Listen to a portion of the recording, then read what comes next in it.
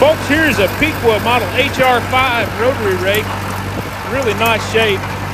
Um, the basket measures just shy of 10 feet wide, so it's going to be nine and a half to almost 10 foot rotor width, and then your working width goes out to the whatever you set the uh, curtain. Um, real nice tires on it. I don't think you'll have any needs there. It is hydraulic lift and tilt, and we're going to show you that working here at the end. We've got to shut it off so it doesn't scratch the, the concrete.